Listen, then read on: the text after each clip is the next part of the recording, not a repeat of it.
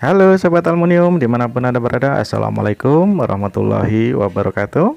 Ketemu lagi dengan channel DAK Di sini kita akan memberikan sedikit ulasan atau tutorial cara pemasangan pangkon roda yang menggunakan besi siku.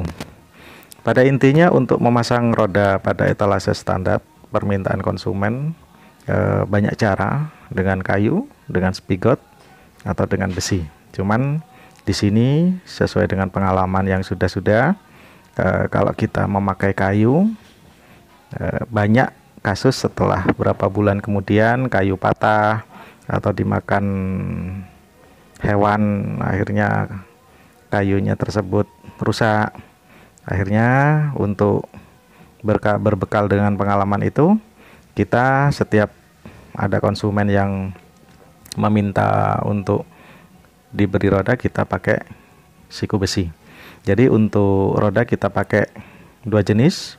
Yang pertama kita pakai SKK atau KHM kalau yang KHM lebih murah uh, dia produk baru cuman tebalnya sama dengan uh, SKK harganya 37.500 kalau untuk SKK harganya 45.000 tergantung teman-teman di lokasi sekitar yang tersedia apa cuman jangan salah karena ada sejenis roda seperti ini dia tipis harganya 25.000 tidak saya sarankan.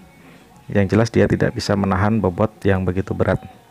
Untuk etalase ukuran 1 meter atau 1 meter setengah kita roda memakai 4 kalau untuk 2 meter atau lebih kita pakai 6 sampai 8 Eh, dengan asumsi kenapa kita pakai roda bulat seperti ini karena dia yang jelas pada saat diduduk pada etalase dia tidak akan bisa jalan sendiri karena dia butuh space atau arah yang sama agar dia bisa bergerak.